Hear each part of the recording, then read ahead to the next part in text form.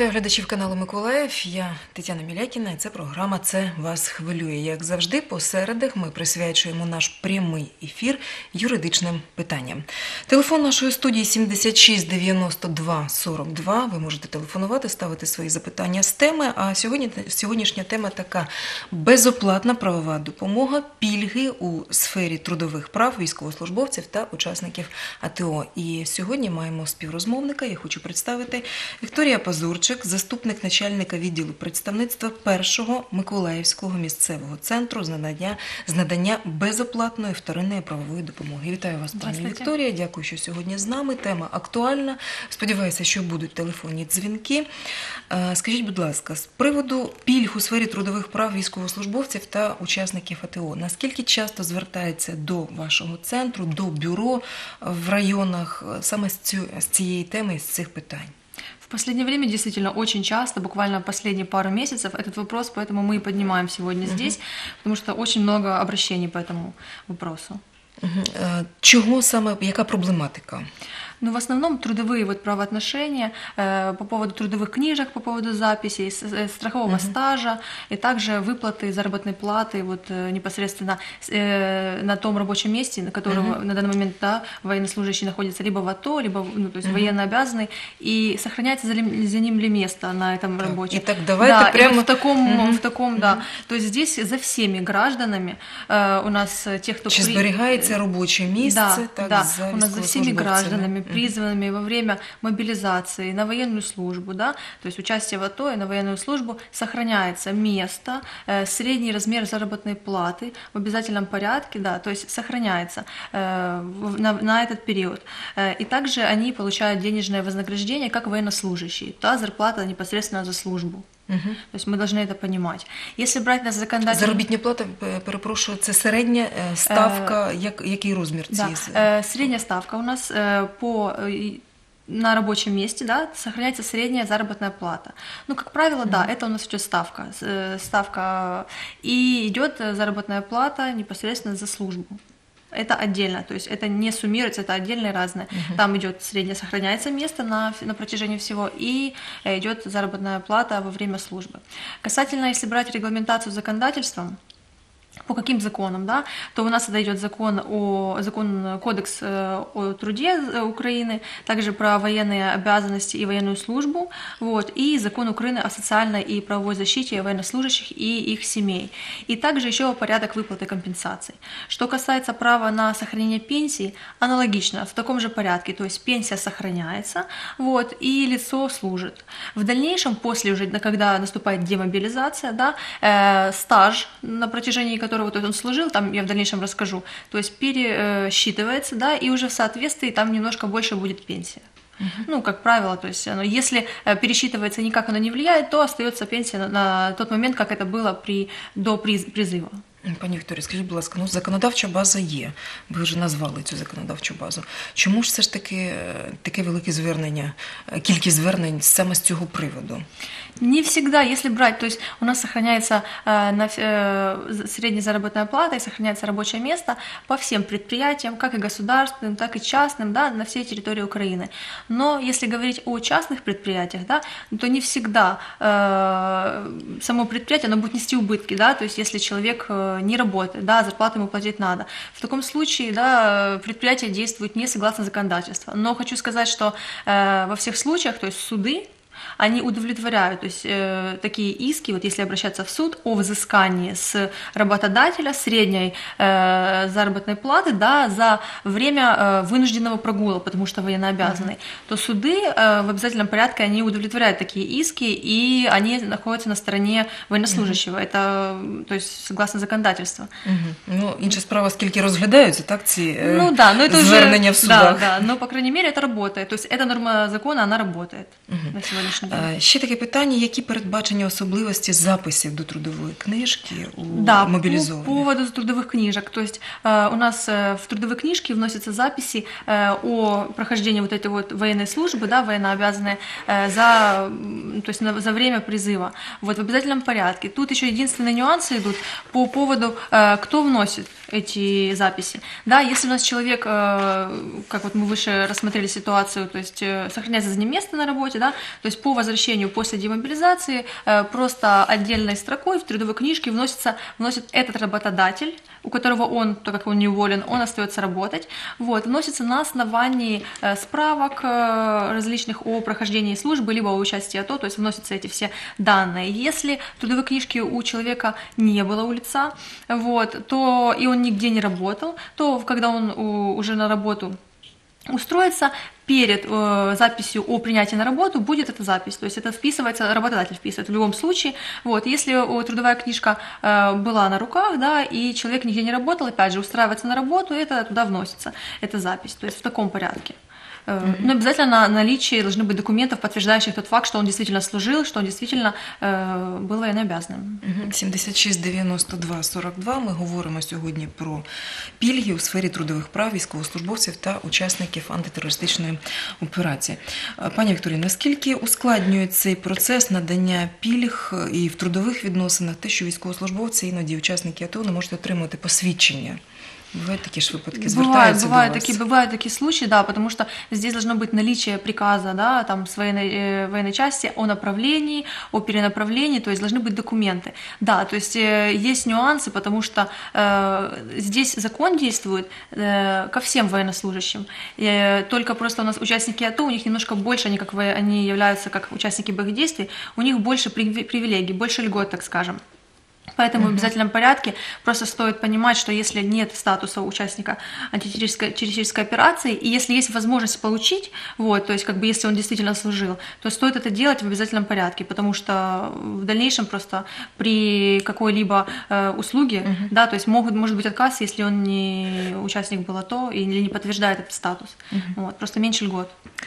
Працевлаштування учасників АТО, допомога по безробіттю. Да. Наступне питання набуття статусу після демобілізації по безробіттю, статусу по безробіттю. Да. Ну, вообще, бе- чтобы получить да, работу какую-либо или стать, э, у- получить статус безработного, мы обращаемся в Центр э, занятости населения, да, независимо от... Як обласний, Да, районний. да, то есть так. здесь независимо, где проживает лицо, где где оно зарегистрировано, где фактически проживает, потому что база одна, может обратиться в любой ближе расположенный, да, ближайший э, центр занятости с определенными документами, чтобы э, ставить э, на учет для последующего ну, получения данного статуса.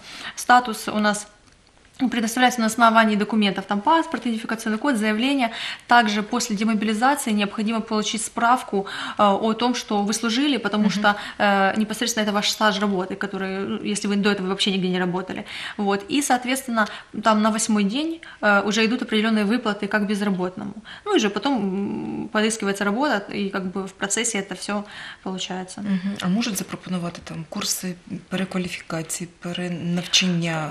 могут, за, могут предложить э, только в том случае, да, если не будет подходящей работы. Если вакансия есть, и он подходит, и у него э, образование, да, еще можно, нужно предоставить, если есть э, э, высшее образование, подтверждение документ.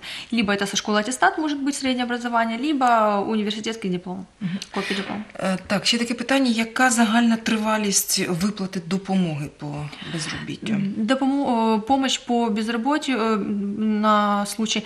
Получается, что у нас 360 дней, не может более 360 дней э, быть эти выплаты. И здесь идет э, единственный нюанс по поводу пенсионеров. Там у них последние два года, это пред э, выходом на пенсию, получается статус, там у них 720 дней, то есть не может быть выплата более этого срока. И единственное, что нюансом каким будет, то, что процент, то есть какой мы будем выплачивать, то есть не все время мы получаем одну и ту же сумму по выплате, да, все зависит от периода вашего страхового стажа, перед этим сколько вы работали, это важно, и, соответственно, уже исходя из этого, пропорционально будет выплачиваться там первые месяцы определенная сумма и уже в процентном соотношении дальше. А як отримати довідку про виплачене грошове забезпечення?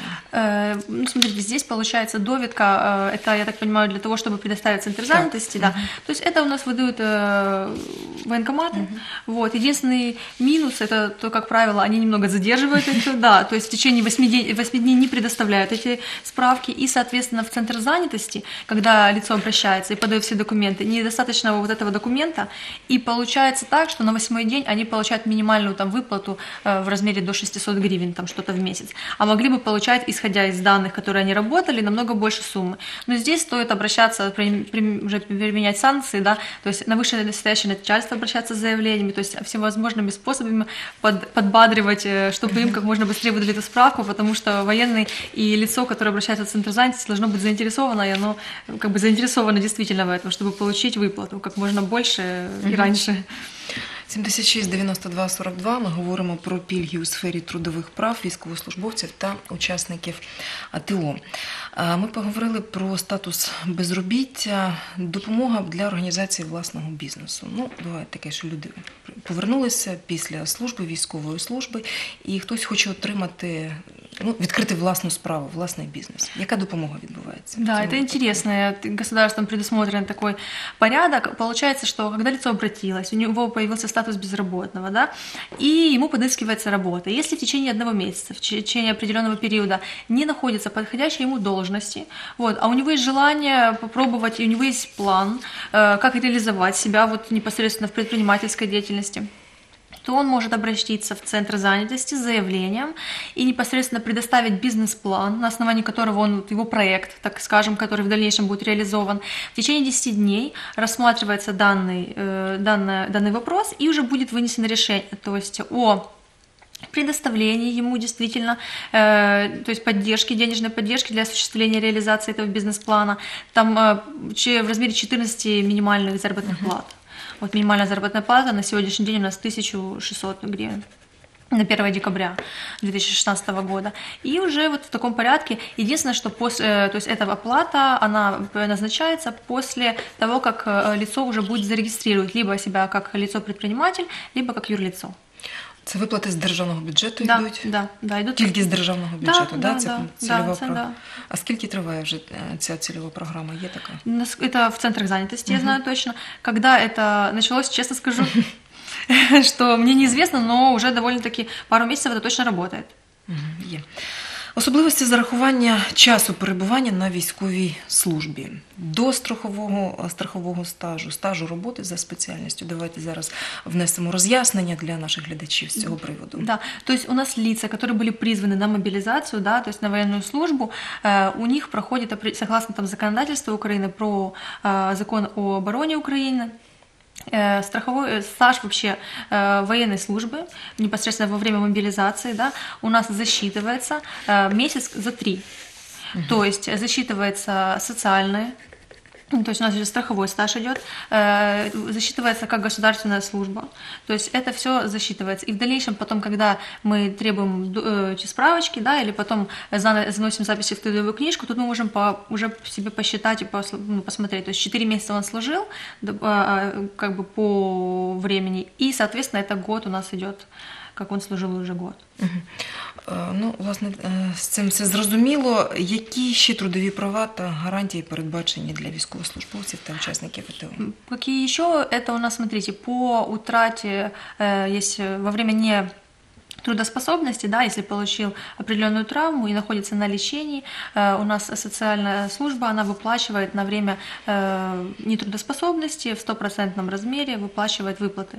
Также по э, постановлению на учет социальной службе есть определенные, то есть безочередное и также по, э, если имеются какие-то заболевания или показания, то есть подтверждение, э, подтвержденные обязательно документами о том, что необходимому, э, необходимому военнослужащему лицу необходим уход, вот, помощь, да, то можно обращаться в социальную службу для предоставления непосредственно лица со- социального служащего, непосредственно для помощи этому человеку. И если по каким-то причинам социальная служба не может обеспечить э, помощь в таком, э, да, то она обязана выплатить э, компенсацию за непредоставленную помощь. Здесь единственное нужно понимать, что если человек никуда не пошел и ничего не Ничего не просил, звертаться. то, соответственно, он ничего не получит, да, то есть как бы должна быть инициатива, то есть необходимо туда обращаться. Еще можно... А э, зобов'язує суд А, Ви, ви сказали, що має виплатити, з- зобов'язана виплатити. А, Нет, нет, нет. Почему мы обращаемся? В, ц- э, в- то есть они должны, во-первых, аргументировать. То есть есть у них, нет у них э, социального служащего непосредственно. Может, в этом районе нет возможности предоставить. То есть здесь еще очень много факторов. То есть мы в суд идем, если они отказываются без причин, без определенных причин. То есть Тобто обязательно- явно відмова Да, є, да, то- да. то И есть, що- да, то есть желательно и это в письменном, то есть мы обращаемся с заявлением, как положено, чтобы потом у нас были подтверждения, что мы обращались и что нам отказали. Все в письменном виде. Это обязательно подстраховка и документ, доказательства. Єдине, що звернення, ініціатива, Да, власне, конечно, должна, самого- быть, от- э, должна исходить от э, лица, которому необходима эта помощь в любом случае. Вот. Э, Касательно по образованию, да, какие бывают льготы, то есть у нас согласно законодательства и закона про обра- в образование также указано, там есть определенная статья, э, м, ли- дети, также сами военнослужащие, дети э, членов семей, да, военнослужащих, то есть они имеют право на определенные льготы по обучению. Э, Несколько, э, то есть э, там порядок льгот у нас идет, либо э, идет бесплатное обучение, бесплатное проживание в общежитии, бесплатное предоставление в пользование интернетом на территории э, этого общежития, да, соответственно, определенные какие-то э, льготные кредиты в банках для оплаты непосредственно этого обучения, потому что разные бывают. Вот. То есть в таком порядке у нас законодательством это предусмотрено в общей форме, не конкретно, не детализировано. Э, в законе, то есть указано ссылки, что непосредственно Давайте нагадаємо ще який закон. Закон про образование. Закон про образование, там указано, э, какие льготы имеют, э, то есть непосредственно по каким, на что можно претендовать, да, какие льготы имеются. И уже в этом случае, единственное, что вот хотела отметить, что Кабинет министров у нас вносит непосредственно конкретизацию, то есть порядок исполнения, процедуру. На данный момент, к сожалению, э, Кабинет министров, он не детализировал, нет такого, да, да, постановления, то есть нет, поэтому эта норма закона, она работает фрагментарно, то есть частями. Некоторые э, университеты, некоторые э, техникумы э, первого, вот второго уровня аккредитации, они предоставляют бесплатное обучение для граждан, не для всех, то есть для, атош, для атошников, для, возможно, там, даже для инвалидов, то есть для разных категорий, то есть не все, не все, не в полном объеме, некоторые Учреждения предоставляют бесплатное общежитие. То есть выборочно. Нет такого, что всем бесплатно, потому что не, кон- то есть в общем написано, а э, также указано, что это финансируется с э, местных бюджетов. Но а местные бюджеты должны, то есть должно быть законодательство, да, оно не вот здесь в этом мере, оно не Місцевих дораб- бюджетів да. мають бути гроші на ці Да, на під- должны, должен быть план, да, заложено в бюджет. А, соответственно, немножко здесь недоработано. Но, тем не менее, в, то также то есть, работает. В- Не в полной мере, не в полном объеме, но работает, предоставляется и жилье, А чия и має обучение. бути ініціатива, аби допрацювати ці Э, Ну, супере... возможно, ну, не суперечки, такі протиріччя в законодавчій базі? Ну, т- возможно, можно обращаться в гражданский приемный к депутатам, да, потому что также писать э, нашему мэру города п- с просьбами, чтобы отправили, чтобы вынесли на... На Верховну Раду, так? Да, да, да, чтобы в дальнейшем это доработали просто, и уже был толк. Более продуктивно работал этот закон, так Ну, скажем. эта громадські статья. організації, Конечно, напевно, да, зараз да, є да, те- да. велика кількість, Да, значна это кількість. можно. Е, Чи існує державна цільова програма для здобуття професійно-технічної освіти? Ми говорили про вищі навчальні заклади, а Да, власне сюда, такі вход, да, сюда спеціальності. входит, сюда входит и высшие учебные заведения, э, как э, государственные, так и частные. Также, сам, также в таком же порядке входят и технич, среднетехнические. Мгм. Щодо отримання пільг у вищих навчальних закладах, професійно-технічних, які документи мають бути, пакет документів, Ну, подання? да, здесь обязательно должны быть подтверждения. А, опять же, здесь, если это был участник боевых действий, и он потом идет, продолжает учиться, да, э, либо это ребенок его, то есть подтверждение статуса, это уча- участие, бо- ну, удостоверение УБД, да, удостоверение участника АТО, Э, ну и показать непосредственно там свидетельство о рождении, э, ну, показать эту связь, что это там а, мой отец, или, то есть родственную связь установить. Вот в таком порядке. Мгм. Ми сьогодні присвят- присвячуємо наш ефір конкретній темі. Це пільги для військовослужбовців, е, учасників АТО. Але це тільки ну, окрема частка, окреме питання, з яким звертаються до вас люди. Власне, куди необхідно звертатися, аби отримати безоплатну е, правову допомогу. Ми сьогодні говоримо власне про безоплатну правову допомогу. Е, Де можна в Миколаєві її отримати? Обращаемся мы, у нас, мы находимся, первый центр э, местный в Николаеве по улице Образцова 4А, дробь 2, 47 20 90, 47 20 91 номера телефонов. Также э, у нас есть обособленные подразделения в районах вот, области Николаевской, в Новой Одессе у нас находится Так, Сейчас можете адреса, да, да, да, да, адреса. сказати. Вот, значит, у нас э, в Новой Одессе находится по улице Ленина 179, контактный телефон э, у нас 05, э, 0 э, 516 7, это код города, 2 15 51, это Новоодесское бюро. Э, Альшанское бюро у нас находится в городе Николаеве по улице Очаковская 142, Березанское бюро у нас находится по улице Центральная 41, и у нас есть в городе Очакове расположено бюро по улице Торговая, 44. То есть это обособленные подразделения местных центров, куда могут лица обратиться, если у них по каким-то причинам нет возможности обратиться в центр в наш, да, приехать в город, и уже обращаться за правовой помощью различной, какая им необходима. Мгм. Протягом наших ефірів ми говорили м, не тільки на цьому ефірі, а й попередніх ефірів говорили про безоплатну правову допомогу. Хто може її згідно з ну, українським законодавством отримати? Смотрите, то есть у нас все лица, которые находятся по, на территории Украины, да, то есть это граждане Украины, иностранцы, лица без гражданства, все, кто находится на данный момент под юрисдикцией Украины, они имеют право на бесплатную правовую помощь. Бесплатная правовая помощь, она предусматривает собой первичную правовую помощь, это правовые консультации, информация, разъяснения, составление заявлений каких, каких-либо непроцессуального характера, то есть без похода в суд, и также обеспечение информации, э, доступа ко вторичной правовой помощи. А уже вторичная правовая помощь, она предусматривает собой защиту от несправедливых обвинений в суде, представительство интересов перед э, другими лицами, перед органами местного самоуправления, э, органами местно, э, органов э, государственной власти, да, и уже составление документов процессуального характера. То есть обширное, мы должны немножко разграничивать. И вот у нас по вторичной правовой помощи, то, что процессуальные документы и походы в суд, э, у нас не все категории граждан имеют право. Имеют право, у нас указано в законе Украины о бесплатной правовой помощи, статья 14, а, определенный перечень непосредственно категории лиц. Первым пунктом это у нас э, совокупный, э, малообеспеченные семьи, да, совокупный доход семьи которых ниже уровня, прожиточного минимума, вот, либо граничит с ним. На сегодняшний день у нас получается для трудоспособных это 1600 гривен, должно быть э, не, не более этой суммы. За последние 6 месяцев там необходимо предоставить документ, подтверждающий. Если это лицо, утратившее трудоспособность, то в этом случае у нас э, 1247, э, это у нас пенсионеры. Если по инвалидам, у инвалидов они предоставить должны э, подтверждение, что их доход менее двух э, размеров прожиточного минимума для нетрудоспособных, то есть 1247 умножаем на 2, 2494. Далее у нас э, дети-сироты, дети лишенные родительского попечительства, да, бездомные дети, то есть здесь обязательно тоже подтверждение удостоверения, должно быть подтверждение этого также лица, задержанные за административное правонарушение, которым применен административный арест. Лица, которые задержаны за, э, в уголовно, э, согласно Уголовного процессуального э, кодекса, задержанные.